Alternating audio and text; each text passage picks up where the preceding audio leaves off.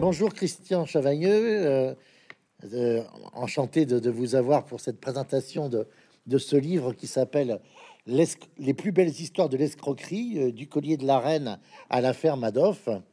dans votre avant-propos, vous commencez par une citation du, grand Vilfredo Pareto, extrait de son traité de, sociologie générale, qui classe dans sa théorie des élites l'habile escroc et le pauvre petit escroc.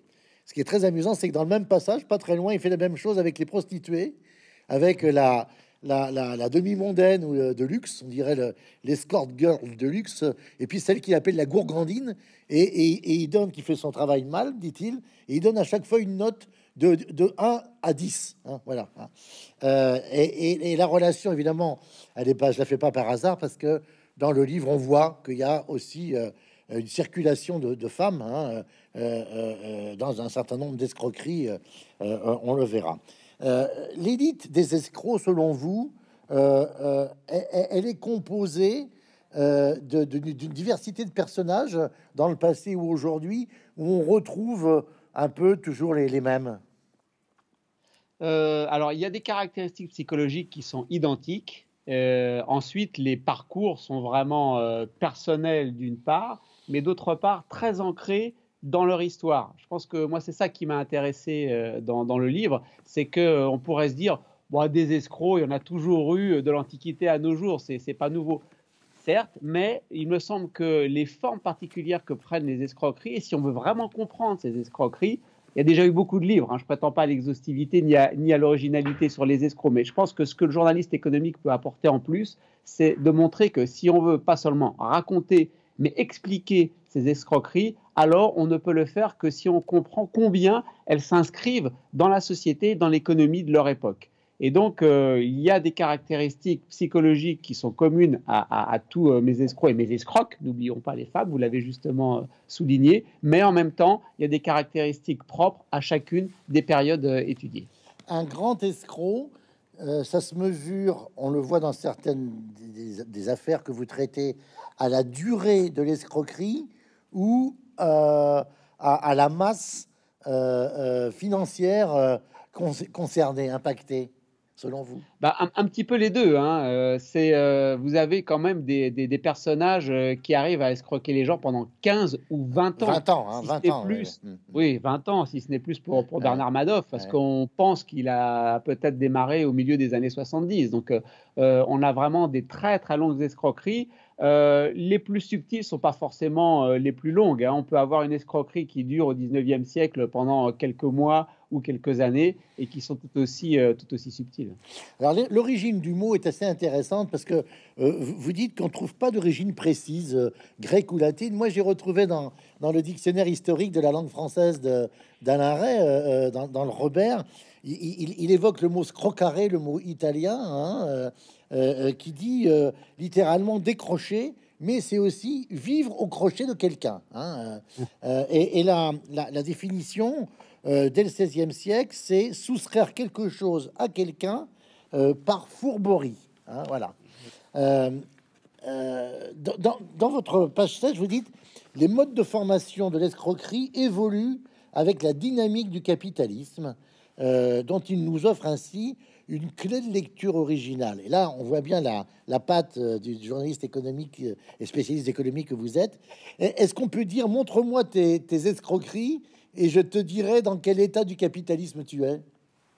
Oui, je, crois qu'effectivement, on, peut dire ça. Ça a été la bonne surprise pour moi en travaillant sur ces escrocs. Je comptais simplement regarder euh, histoire par histoire et puis expliquer, raconter et détailler. Et là, je me suis aperçu que, comme je vous le disais tout à l'heure, euh, on ne peut vraiment les comprendre qu'en en, s'immergeant dans le fonctionnement de, l'économie de chacune des époques. Et donc, à l'envers, à rebours, euh, on peut écrire une histoire du capitalisme, en gros, du XVIIIe siècle à nos jours, par ces escrocs.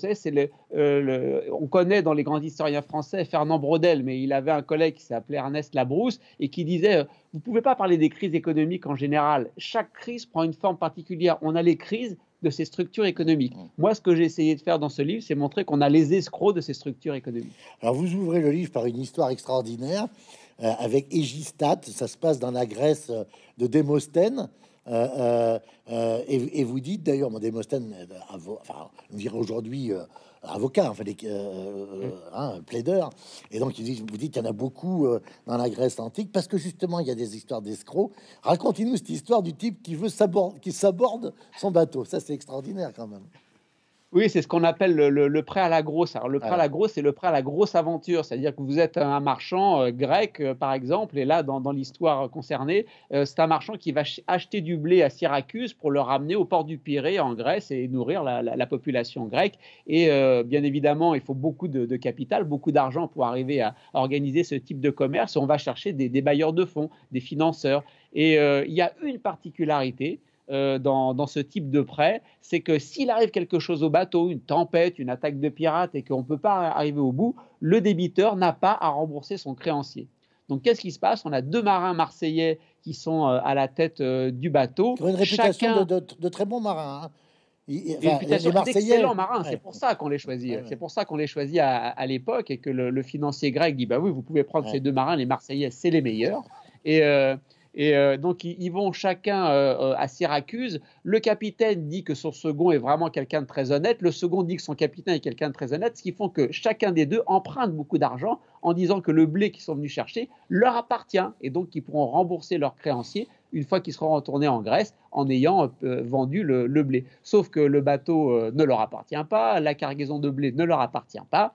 Et voulant jouer de cette clause particulière des prêts à la grosse aventure, au milieu de la traversée, ils décident de s'aborder le bateau en disant, voyez, bah, le bateau a coulé, désolé, je n'ai pas à vous rembourser. Ils ont déjà envoyé l'argent à Marseille. Sauf que les passagers entendent des bruits un peu bizarres et ils trouvent le capitaine en train de s'aborder le bateau. Donc évidemment, course-poursuite, ils se jettent à l'eau et on oublie une chose qui est toujours vraie aujourd'hui, c'est qu'il y a beaucoup de marins qui ne savent pas nager. Donc euh, il se noie et c'est le second qui essaye par des, magouilles dans, lesquelles je ne vais pas rentrer dans, les détails, euh, d'aller jusqu'au bout de, de l'arnaque. Finalement, il va sûrement perdre. Malheureusement, on a perdu le résultat du procès, mais on sait qu'il y a eu beaucoup de procès euh, de, ce style et que généralement les, escrocs ont, été condamnés.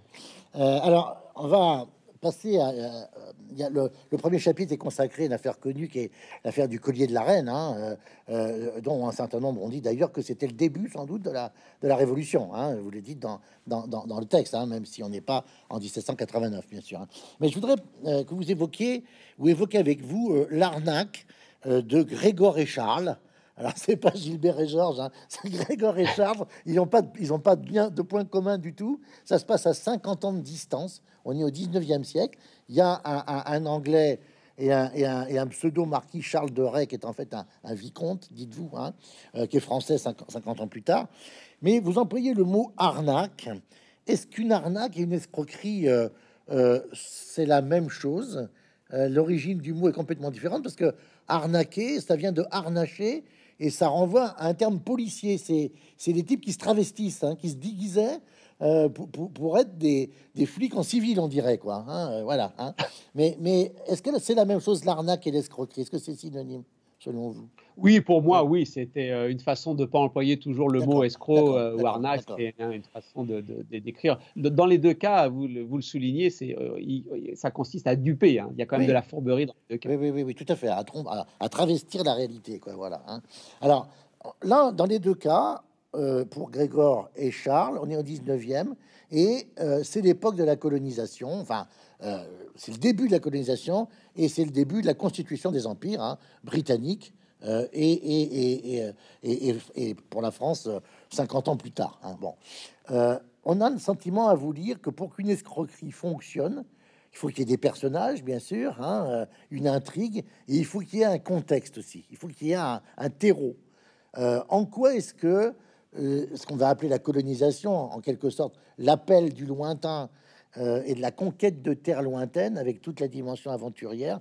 En quoi est-ce que ça a été un formidable carburant pour escroquer euh, les gens la, colonisation et la, constitution des empires, c'est le rayonnement international de, votre pays. Alors il se trouve qu'au début du 19e siècle euh, s'ajoute pour, euh, pour l'Angleterre le fait que c'est déjà le premier centre financier mondial. Donc évidemment, pour un escroc, aller là où il y a l'argent, c'est tout à fait important. Et donc on a ce fameux euh, Grégor MacGregor, qui est un soldat, hein, euh, qui, a fait les, guerres napoléoniennes, et qui tout d'un coup va arriver à Londres avec une femme absolument magnifique, ce qui va jouer beaucoup sur les relations sociales. Une parente de Bolivar, hein, enfin de la famille Bolivar. Oui, la, sa femme, tout à fait, oui, et euh, des parents de, de la famille Bolivar. oui. Et donc, et, et en plus, une femme magnifique et qui sait euh, bra- visiblement bien jouer des, des relations sociales et, et mondaines. Donc, il va prendre une place assez importante dans le milieu des financiers euh, britanniques. Il va réussir à lever de l'argent pour développer un terrain euh, dont il dit qu'il est absolument euh, merveilleux. Il fait payer euh, un auteur pour qu'il écrive un livre pour dire que le, le- le- le terrain est magnifique, qu'il y a beaucoup de ressources. Donc tous ceux qui veulent bien lui acheter une petite part du terrain, eh bien, il leur cédera volontiers le droit de propriété. C'est du côté, Il va affréter un bateau. c'est du côté, pardon, de l'actuel Nicaragua, c'est ça? Voilà, c'est Ah, ça, ah. on, on est, on est en Amérique latine. hein. Et, euh, et en fait, lorsque les gens vont arriver, ils vont décrire euh, une terre absolument aride, pleine de moustiques, inutilisable. Euh, quand le deuxième bateau va arriver, les gens du premier bateau vont leur dire Mais surtout, mes pauvres amis, euh, ne, ne- ne débarquez pas, Euh, on s'est tous fait, on s'est tous fait avoir. Il va y avoir des morts, des morts physiques. Dans, dans les arnaques, il y a quelques morts au, au fil de- des histoires, mais là, il va y avoir beaucoup, beaucoup de, de- de morts. Et 50 ans plus tard, et je me demande si, si le marquis de Reis, euh, bon, qui n'était pas, pas un marquis, n'a Mm. pas connaissance quand même de Ouais. cette, euh, de cette première arnaque britannique, parce que le, le modus oper- operandi est vraiment très, très similaire. Il va faire croire qu'il dispose d'un terrain, d'une île qui est du côté de l'Australie, de l'Indonésie, etc., et que de la même façon, il va pouvoir vendre une bonne partie des terrains. Il va avoir non seulement comme, euh, comme client, si je puis dire, des Français, mais des Belges, mais des Italiens. Donc euh, ça va rayonner au sein de, de l'Europe et de la même façon, il va leur faire croire que euh, le terrain est absolument magnifique. Lui aussi va faire écrire un livre par un auteur disant que tout est absolument euh, magnifique. Et au fur et à mesure des bateaux qui vont arriver, euh, ben, tous ces migrants vont s'apercevoir que la vie est terrible, beaucoup euh, vont périr, et il va falloir que certains d'entre eux soient sauvés euh, par, par un capitaine de bateau qui va les emmener en Australie, et d'Australie ils vont revenir en France, et là ils vont commencer à raconter ce qu'ils ont vécu, et là c'est la, la fin de l'arnaque pour, le il- il- pardon de le dire comme ça, mais c'est un vrai salaud. Hein. Il s'attend pas à ce qu'il revienne. Hein. Euh, euh, Ah bah c'est sûr, oui, ah tant, et jusqu'au bout, Ouais. jusqu'au bout, même quand les, les- les premiers migrants reviennent, euh, il va contester la Ouais, vérité. Il faut dire qu'avec euh, une partie de l'argent, il a créé un journal qui fait la promotion euh, de, de son île et qui va continuer à raconter des mensonges. ça se situe plus ou moins vers la Papouasie-Nouvelle-Guinée. Hein, euh, Et tout à fait. voilà. oui. hein, voilà. Euh, et alors, vous, vous citez une, une, une chercheur, euh, chercheuse, pardon, Anne-Gabrielle Thompson, euh, qui dit que pour qu'une escroquerie fonctionne bien, c'est page 92 de votre livre, il faut qu'elle vende du rêve. Ah bah là, on, est clairement euh, dans la possibilité de, se bâtir une fortune à moindre frais. Vous m'achetez un petit terrain pas cher, vous allez vous retrouver sur une île luxuriante, vous allez pouvoir euh, travailler la terre de cette île et euh, vous allez produire des matières premières qui sont en grande demande au niveau mondial, donc vous allez vous enrichir très très vite. C'est une des caractéristiques hein, des, des escrocs pour ces histoires du 19e siècle, mais pour toutes les histoires, de dire vous allez trouver un raccourci pour vous enrichir par rapport à vos contemporains. Et c'est ça, quelque part, qui séduit aussi tous les, tous les gogos qui vont se faire avoir. C'est que cette idée de pouvoir montrer aux autres qu'on a été plus malin en trouvant un raccourci pour s'enrichir, ça, c'est un ressort sur lequel les escrocs, et notamment ces deux escrocs du 19e, euh, vont s'appuyer beaucoup. Oui, parce que eux, leur, leur cible, si on parle en termes de marketing, euh, sont pas les riches. hein. Plus, plus tard, on verra Madoff, euh, dont vous dites, c'est la tête du chapitre, euh, euh, faire payer les riches pour donner aux riches. hein. Enfin, voilà. hein. Là, là, il s'attaque effectivement à des, à des petites gens, comme on dit, parfois pas du tout, du tout, du tout, en quoi que ce soit fortunés, qui rêvent d'ailleurs. Exactement. Voilà. Voilà. Oui, Euh, tout à fait. Généralement, toutes ces arnaques concernent les, les- les plus riches, hein, parce que Oui. c'est là qu'il y a le plus d'argent récupéré. Mais ces deux-là, au 19e siècle, vont concerner euh, euh, des gens à, à bas revenus, dont une bonne partie d'entre eux, malheureusement, vont perdre leur vie. Dans, le, dans ce chapitre, vous- à la fin, vous, vous faites un petit peu ce que vous faites un peu dans chacun des chapitres, c'est un peu la déclinaison ou l'adaptation de ces histoires vraies dans une dimension romanesque. D'ailleurs, euh, chacun de vos chapitres commence par euh, où l'on croisera. Au début, on comprend pas. on, voit apparaître telle ou telle euh, actrice, etc. Euh, bon, euh, chez Kruger, ça sera Greta Garbo, par exemple. Bon, Euh, là. euh, euh, c'est assez étonnant parce que un, livre assez connu hein, euh, de Jules Romain hein, euh, qui s'appelle Donogo hein, euh, avec Monsieur Le Trouadec. Enfin, c'est un, c'est, un roman qui va qui a un vrai succès puis qui est très très intéressant. Quoi, hein. Euh, euh, ça, ça lui sert de de base à son propos. Hein. Il, récupère cette histoire de, Charles de Rais euh, pour, pour, en, faire la, trame romanesque. C'est quoi la relation entre escroquerie et roman ou dimension romanesque? Alors là, en, en, ce qui concerne euh, Romain, c'est une pièce de théâtre en fait, hein, plus, qu'un roman. et, euh, euh, il, s'en sert pour, pour montrer. Alors l'histoire, hein, c'est un, professeur de géographie qui a écrit une histoire du monde absolument magnifique, une géographie du monde magnifique, et il a, il a mis un territoire malheureusement qui n'existe pas. Donc il va payer un aventurier pour aller créer la ville qu'il a, qu'il a malheureusement inventée et qui est susceptible de remettre en cause la, qualité de son travail. Ce que, ce que va faire l'aventurier, il va vraiment euh, créer euh, une, ville. Bon, les, personnages des, des, escrocs sont absolument romanesques toute leur vie est empreinte de, de, de vol, de subtilité, euh, de gens qui, euh, qui euh, comme on dit à chaque fois, non seulement, enfin, ils viennent pas voler l'argent des gens, c'est que vous leur apportez votre propre argent et en plus avec le sourire. Et ça, c'est des ressorts dramatiques absolument fabuleux. Les personnages eux-mêmes sont absolument fabuleux. Donc, c'est pas du tout étonnant que la littérature, le théâtre et le cinéma se soient emparés de la grande majorité d'entre eux. Parce qu'on voit, par exemple, Alexandre Dumas, vous le citez deux fois, parce que deux fois il récupère l'histoire. Balzac, euh, évidemment, dans, la comédie humaine, euh, on, a, des figures euh, classiques là de, bourgeois. On va passer à l'affaire Imbert. C'est une affaire, vous dites, c'est une des plus longues escroqueries de l'histoire. Alors, peut-être euh, soustraction faite de, Madoff, 20 ans, 1882-1902. Euh, et euh, dans, dans, une des citations que vous placez en, ouverture de ce chapitre, on lit C'est un génie et les plus entreprenants financiers de notre époque peuvent très bas s'incliner devant son audace. Hein, voilà. Alors, elle a été portée à l'écran par Simone Signoret, je crois, hein, voilà, hein, qui, a, joué un rôle de composition euh, tout à fait étonnant. Euh, ce qui est intéressant chez elle, c'est qu'elle met du temps à monter son escroquerie. Euh, euh, il y a tout un travail de préparation, on pourrait dire, pour que ça fonctionne bien. Est-ce que ça ressemble un peu à la, préparation d'artillerie que feraient des stratèges avant, de lancer l'offensive, hein, les terrestres ou l'infanterie il, il y, a tout un travail de mise en place si on veut que ça marche. Vous confirmez ça?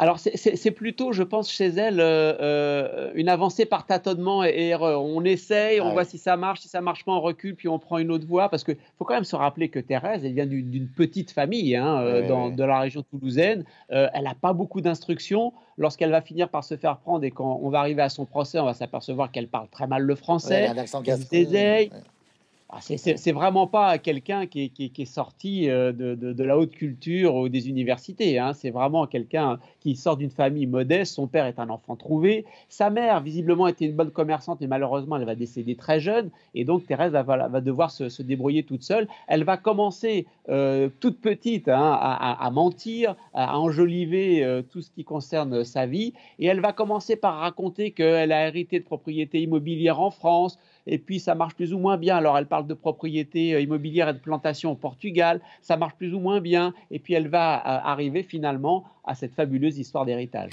Oui, mais euh, Christian, tout, tous les enfants sont des menteurs, des, racontent, racontent des cracks, se font des romans. Il y a une bonne partie de mythos, comme on dit, de mythomanes dans la société. C'est pas tous des escrocs, heureusement. Il y, a, y a un moment on comprend là qu'il y a une intelligence pragmatique chez elle, très, très justement. Vous dites aussi, elle fonctionne dans un clan quand même. Hein. Elle n'est pas toute seule. Hein. Ah, mais tous les escrocs, en fait, j'ai été surpris de découvrir ça. C'est qu'à chaque fois euh, qu'on étudie des histoires d'escroquerie, on a un personnage qui ressort, mais les grandes escroqueries, les belles escroqueries, celles qui durent, ont toutes besoin d'avoir du monde. Alors, je pense qu'il y a deux explications à ça. D'un côté, il faut du back-office, comme on dirait aujourd'hui, il faut des gens autour qui, euh, qui aident à monter concrètement l'escroquerie. Mais je crois aussi que la psychologie des escrocs fait qu'ils ont besoin en permanence d'avoir des miroirs autour ah d'eux qui leur renvoient l'image de leur supériorité et de leur qualité de prédation. Et donc, c'est aussi l'une des raisons pour lesquelles ils sont souvent entourés d'un clan. Et en particulier chez, chez Thérèse Imbert, ça va aller très loin, puisque, alors, euh, c'est son, son beau-père ou son ou son, parce qu'il y a des liens familiaux très compliqués. Hein. On, comprend à la fin du chapitre, hein, c'est un peu, on n'est on est pas loin presque de, de, relations quasi incestueuses. Enfin, euh, oui, enfin j'exagère, mais, mais, mais ça, ça, se croise beaucoup. Hein. compris dans les Il y a son mari, il y a, il y a son mari qui, qui, au début, euh, je pense, est, de bonne foi parce que Thérèse lui dit qu'elle va avoir un héritage absolument fabuleux. Lui, euh, son mari, est le fils euh, d'un sénateur, futur ministre, président de la Cour des comptes. Donc c'est un personnage. oui, oui, oui, oui.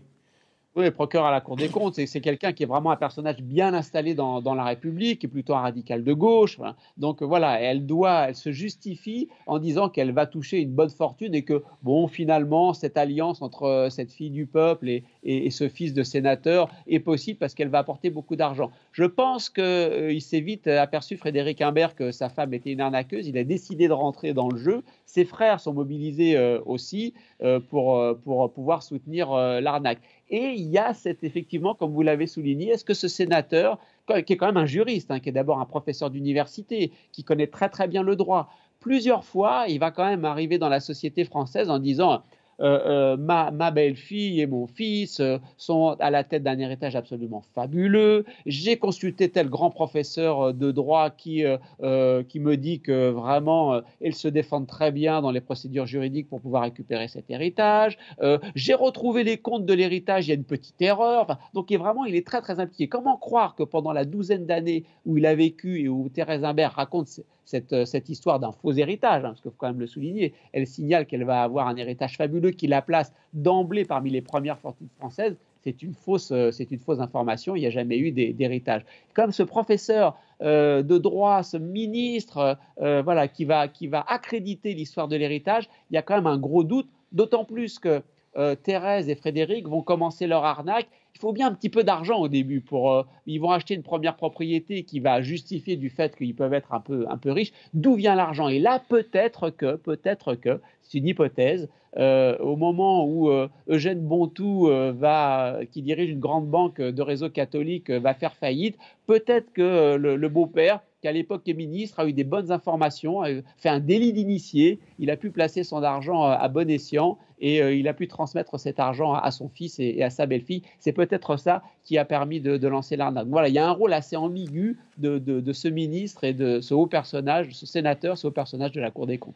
Alors, euh, en, parlant de la Cour des comptes, vous disiez comment c'est possible qu'il ait, vu, son statut, comment il ait pu laisser passer ça. Ça me faisait penser à, une phrase de Jean Rivero, le grand juriste Jean Rivero, que, dont vous connaissez la, réputation certainement, qui disait à, propos de la Cour des comptes, c'est très méchant, hein, filtrer le moustique et laisser passer le chameau. Hein. Mais euh, puisque vous dites que ça dit quelque chose de la société du temps, euh, est-ce que euh, par exemple, qu'est-ce que ça nous dit de 1882 ou, de la France économique ou de l'état de l'économie française au tournant du 19e, 20e siècle. Il y, a, un parfum de scandale, hein, euh, Panama, etc. ça dit quoi du capitalisme français, cette histoire, Humbert?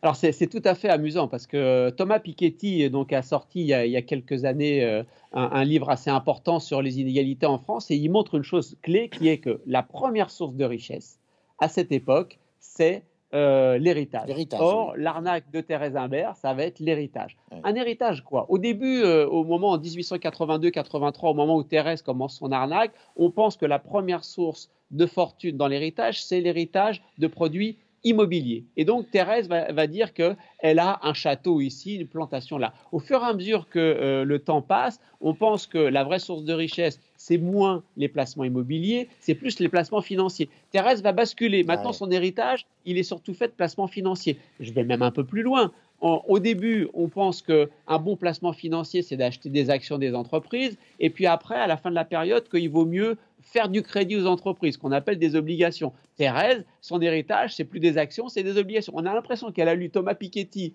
à la, lettre et qu'elle fait évoluer son histoire en suivant le livre de Thomas Piketty. Elle est vraiment le reflet de ce qu'on pense être la bonne source de fortune euh, à l'époque. C'est absolument fabuleux. Ça, ça rejoint un, trait qu'on va retrouver chez d'autres. Euh, ils sont euh, très informés et ils ont une, adaptabilité, une forme de, de l'habilité. Alors c'est peut-être lié au fait euh, que pas, ils ont pas un surmoi fabuleux, quoi. Hein. Euh, ils sont pas écrasés par la par l'interdiction d'oser des choses. Euh, et, donc ils, ils, font quoi. Hein, voilà. Hein. Je reviens à, à, la chute de Thérèse Imbert. et, vous employez à, à, plusieurs reprises l'expression lanceur d'alerte. Vous dites qu'il y en a trois. la libre parole, le journal de Drummond, parfaitement antisémite, très anti-Dreyfusard, assez odieux quand on lit les textes de la libre parole. Alexandre Duré, que l'on voit apparaître dans le scandale de la banque Girard, qui va se suicider, je crois, Girard. Hein. Euh, et puis euh, François Ignace euh, Mouton. comment ils vont, ils vont dénouer l'affaire la, J'imagine que là, vous l'avez dans le chapitre, mais je voudrais vous entendre là-dessus. quand la publicisation de, de l'escroquerie fait du bruit, comme on dit. Oui, la, libre parole commence dès 1895, hein, donc l'arnaque euh, a commencé vers 1882-83, donc 10-12 euh, ans après, déjà, ils doutent euh, du fait que l'héritage puisse exister. ça a été ça la force de, Thérèse, c'est d'arriver toujours à trouver des astuces pour faire croire que cet héritage mhm. existait. La libre parole, le journaliste commence à, mener l'enquête et il dit c'est quand même bizarre, on ne retrouve pas toutes les informations que nous donne Thérèse. Ensuite, euh, c'est vrai, le, syndic euh, de, judiciaire de, la Banque Durée, le pauvre qui s'est suicidé, il va faire appel à un avocat qui va avoir une carrière politique célèbre, c'est Valdez-Crousseau. Et Valdez-Crousseau, pour la première fois, va dire dans sa plaidoirie pratiquement, il va dire, ça sent l'arnaque. Euh, euh, euh, le, grand héritier américain dont Thérèse est supposé, le grand milliardaire américain dont Thérèse est supposé avoir hérité, peut-être qu'il n'existe pas. Et puis enfin, François Ignace Mouton, qui, aujourd'hui travaille à Mediapart, hein, j'ai envie de dire, il met vraiment son enquête et lui démontre jour après jour dans le journal Le Matin que euh, euh, bah, les millions et euh, les milliards n'existent pas, que l'héritier américain n'existe pas. Il y a toute une histoire avec des faux neveux qui contestent à l'héritage. Il n'existe pas. Que l'adresse que Thérèse a donnée pour ce milliardaire américain ou ses neveux, que, que il y a un parc et personne n'habite là. voilà, il arrive vraiment à démontrer au jour le jour que, que, que c'est une arnaque. Et pourtant,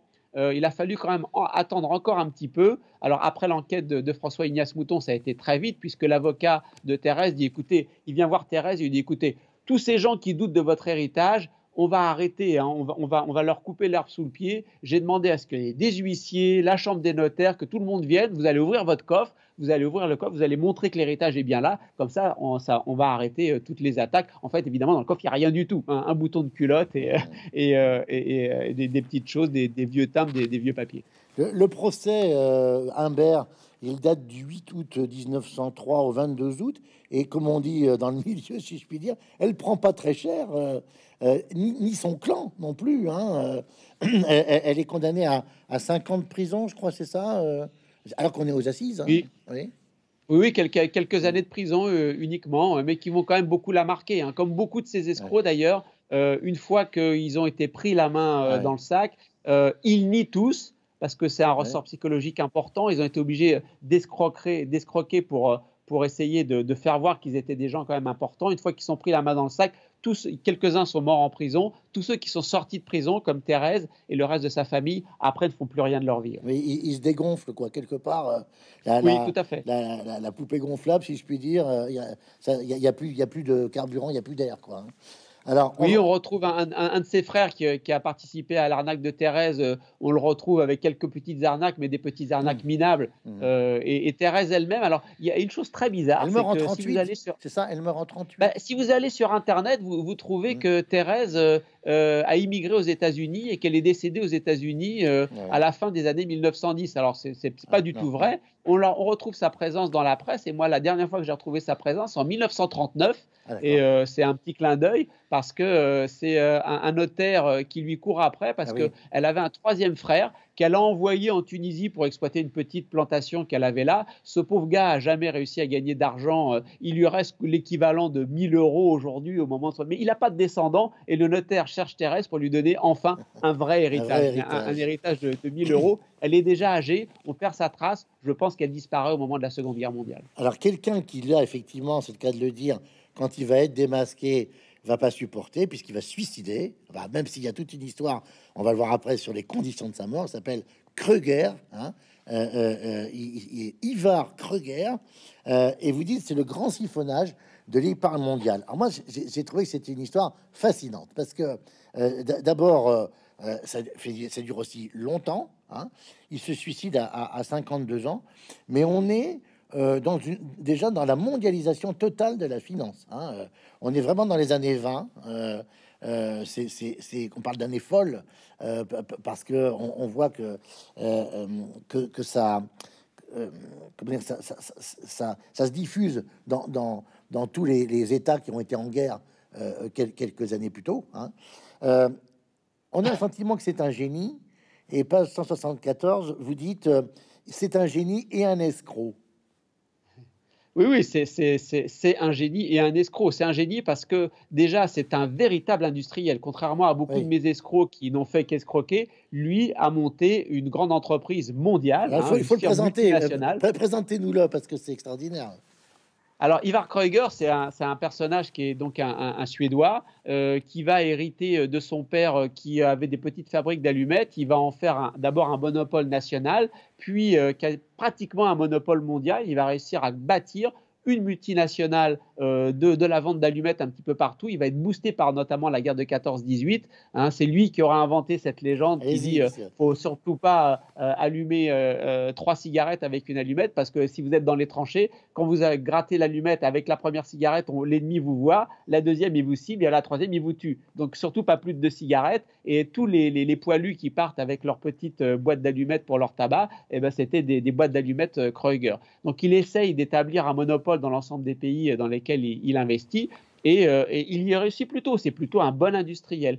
Et en plus de ça, à partir de, de, la fin des années 10, début des années 20, il se dit qu'il y a beaucoup d'argent à récupérer euh, sur les marchés financiers internationaux. Il commence par Londres, qui est une grande place financière, et puis il finit par arriver aux États-Unis. Je montre toutes les stratégies qui lui permettent de bien arriver aux États-Unis dans des conditions de crédibilité, et il va dire j'ai besoin pour me développer que vous me prêtiez beaucoup d'argent. Il va réussir à convaincre une petite banque d'affaires qui est assez connu hein, aux États-Unis à l'époque, c'est une sorte de petit Goldman Sachs de, l'époque, euh, à, lui servir d'intermédiaire. Il va réussir à siphonner beaucoup des dizaines de milliards euh, de, dollars d'aujourd'hui euh, qui va les ramener vers l'Europe. Et déjà, on est en 1923, il va utiliser d'abord la Suisse, puis le Liechtenstein, des paradis fiscaux, des sociétés écrans en cascade pour euh, mêler euh, euh, tous les, flux d'argent et pour les rendre les plus opaques possibles et que personne ne sache vraiment où, est l'argent, il va utiliser beaucoup les Pays-Bas aussi, hein, qui sont Pays-Bas, Suisse, Liechtenstein, des paradis fiscaux d'aujourd'hui, dès les années 20, sont utilisés par, par Kreuger. il va réussir à dissimuler cet argent. Une bonne partie, il l'investit et une bonne partie lui permet d'avoir un train de vie personnel absolument gigantesque. Jusqu'au moment où la crise de, 29 euh, va faire que les placements euh, vont s'effondrer. Comme, comme pour Madoff, euh, les, créanciers vont dire Ah ben, je vous ai prêté de l'argent, mais j'ai besoin que vous me rendiez cet argent. Évidemment, il ne l'a pas. Et, donc, il y a toute une réunion qui est organisée à Paris avec l'ensemble de ses créanciers. Et, Kreuger n'arrive pas à la réunion. Et c'est là qu'on va s'apercevoir qu'il s'est suicidé dans, dans, sa chambre. Alors, on, on, va reprendre un peu un certain nombre de choses parce que vous dites en particulier il, a anticipé ce que font un certain nombre de multinationales aujourd'hui, euh, par exemple pour échapper à l'impôt. Euh, euh, donc c'est un, pour le coup, là, il est d'une modernité étonnante, hein, parce que en fait, il, il a compris que en faisant circuler l'argent virtuel, enfin, ce qui, sa richesse virtuelle, il, il permet d'échapper en quelque sorte à une, traçabilité du, des, flux financiers. Voilà. Euh. Ah, c'est exactement ça. Il a réussi à monter au niveau international euh, une cascade de sociétés écrans qui ne sont qu'un mécanisme euh, d'opacité pour que plus personne ne sache quelle est la filiale, dans quel pays, qui détient combien d'argent il magouille sur les, crédits, les créances, euh, tout, ce qu'on peut imaginer comme innovation financière. C'est un génie aussi de la finance parce qu'il va inventer des produits financiers pour essayer de récupérer l'argent et le dissimuler qui sont toujours utilisés aujourd'hui et qui sortent de la tête de Kreuger. C'est vraiment un génie industriel, un vrai grand patron industriel. C'est un vrai innovateur dans la finance, mais malheureusement, comme beaucoup d'innovations dans la finance, elles vont être détournées euh, de leur usage qui aurait pu être intéressant pour devenir euh, des produits financiers très spéculatifs et pour devenir des produits d'opacité qui permettent de dissimuler l'argent et qui vont permettre à Kruger, en accord avec les législations euh, de, Liechtenstein, de la Suisse et surtout des Pays-Bas, de dissimuler euh, cet argent et de faire que plus personne ne sait quel est l'état de sa fortune jusqu'au moment où, comme je disais tout à l'heure, la crise va l'obliger à sortir un, argent qu'il n'a pas. Et là, tout l'édifice va s'écrouler. Mais euh, il, fait la une du magazine Times le jeudi 24 octobre 29, hein, donc euh, c'est quand même pas n'importe quel jeudi, puisque c'est le jeudi noir. Et il va quand même euh, réussir à tenir, si je puis dire, jusqu'en 32, jusqu'en mars 32, quand, il se suicide. Le, chapitre est écrit comme un, comme un polar, parce que ça commence, on, comprend pas pourquoi le, le, roi de Suède, héritier Bernadotte, quitte précipitamment à à une réception, un dîner. Euh, il est alors qu'il est, il est sur la côte d'Azur. Euh, un, autre euh, de la de la monarchie régnante, pareil, est prévenu. Enfin, on sent que c'est quand on apprend quand, quand, sa mort est connue, il y, a le feu partout. Alors, ça nous ça permet d'évoquer. effectivement, vous dites un train de vie étonnant. Il entretient dix femmes, dites-vous. Hein, donc c'est tout à fait exceptionnel dans le monde, y compris des actrices. Hein, il, donne des cours de mannequinat à Greta Garbo, euh, euh, qui, a, 15 ans à l'époque, etc. Bon.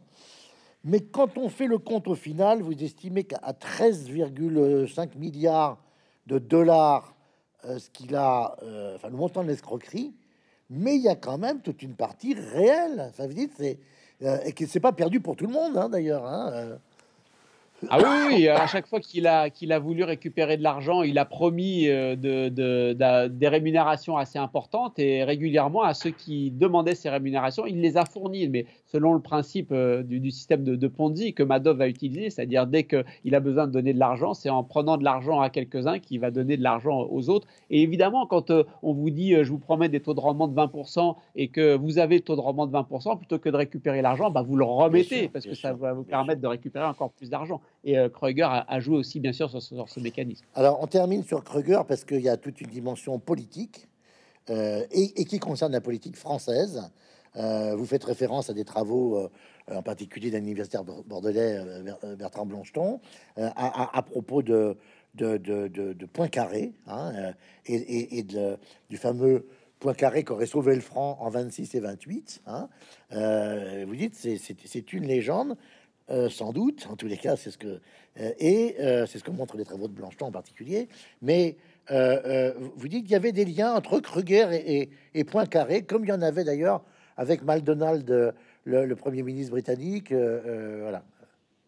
Et avec le président des États-Unis, Herbert Hoover aussi. Oui, tout à fait. C'est quelqu'un qui est très très proche des, des, grands milieux politiques internationaux. Il est dans la diplomatie économique et financière de l'époque. Il faut rappeler que les années 20, c'est quand même aussi sur le plan économique international tout le problème de ce qu'on a appelé les réparations de la Première Guerre mondiale. Il fallait que les Allemands remboursent les Alliés, que les Alliés remboursent les, États-Unis qui leur avaient prêté de l'argent. Tout ça est très très difficile et Kruger lui propose des solutions. Il dit écoutez, moi, je suis un grand industriel, je suis un grand financier. Il dit aux États je peux emprunter à des bateaux d'intérêt. Si vous me laissez un monopole sur euh, le commerce des allumettes dans votre pays, j'emprunte je vous reprête l'argent et du coup, vous, vous avez de l'argent, moi j'ai mon monopole, on est tous gagnant-gagnant. Et on voit bien qu'il a beaucoup négocié avec Raymond Poincaré. Alors effectivement, il y a, le travail de, de, Blancheton qui montre que Poincaré a peut-être pas sauvé le franc. Il y a les mémoires du gouverneur de la Banque de France de, l'époque qui dit que heureusement qu'il a réussi à dire non à Poincaré plusieurs fois parce que Poincaré aurait plutôt planté le franc qu'il l'aurait sauvé.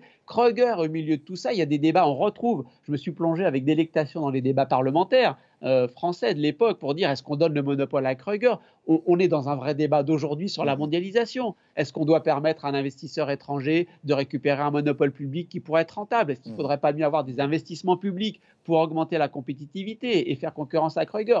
On est dans des débats sur la mondialisation qui sont des débats tout à fait contemporains. On sait que Raymond Poincaré aimait l'argent à titre personnel. Donc, est-ce que et on sait, d'une part, on sait d'autre part que, que, Kruger a acheté des députés français et a acheté des, des, des, des gens euh, qui, euh, qui, étaient dans des positions d'influence, des influenceurs, comme on dirait aujourd'hui. Mmh. Est-ce que je ne peux pas aller jusqu'à dire que Kruger a acheté Poincaré euh, Mais en tout cas, là, il y a, y a, une incertitude historique sur laquelle j'aimerais bien que les historiens se, se plongent. Et vous, et, vous me disiez avant que nous commencions l'échange, et, la, et la veuve de Poincaré a soustrait aux archives la correspondance privée de Poincaré. Voilà. Voilà, il, nous, il, nous, manque des lettres qui peut-être pourra nous éclairer sur ce point. Euh, il y a toute une histoire sur la, mort de, de, de, Kruger. Euh, se suicide donc dans un hôtel parisien, hein, c'est ça, hein, voilà. Euh, avant cette fameuse réunion qui était, qui était, qui était effectivement prévue.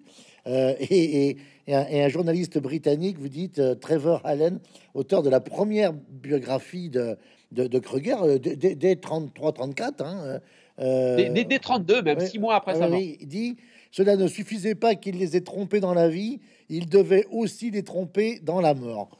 alors, donc, ça a inspiré des auteurs, hein, comme on disait à propos de d'autres affaires avec Dumas ou, Balzac.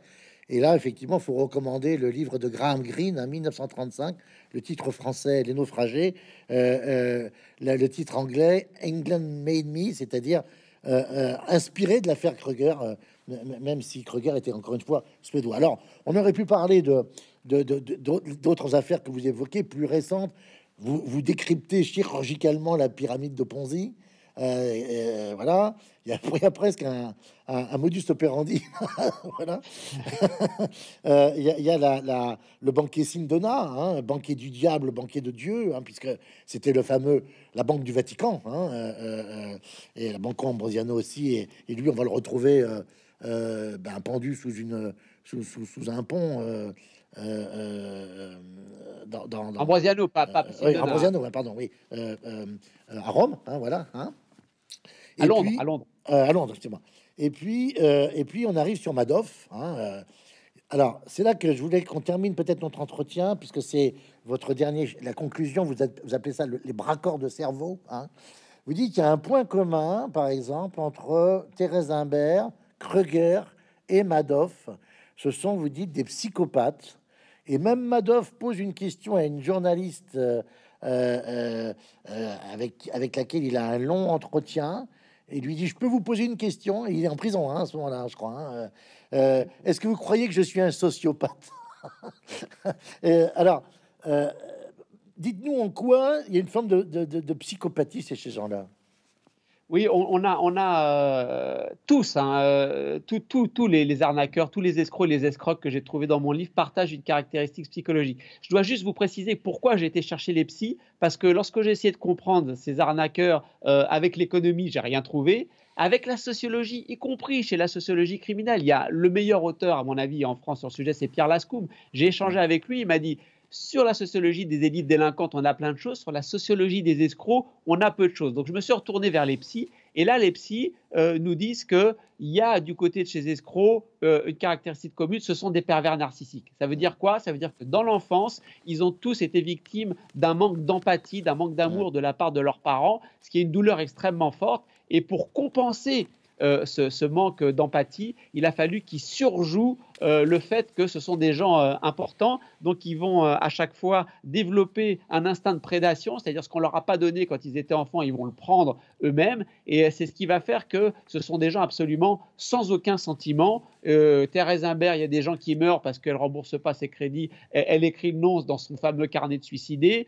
Madoff, euh, son fils, euh, euh, un, de ses fils se pend. un journal, il y a un professeur d'université qui est en train d'enquêter sur lui, qui l'a au téléphone le lendemain. Il lui oh, de toute façon, il n'a jamais été capable de soutenir l'attention.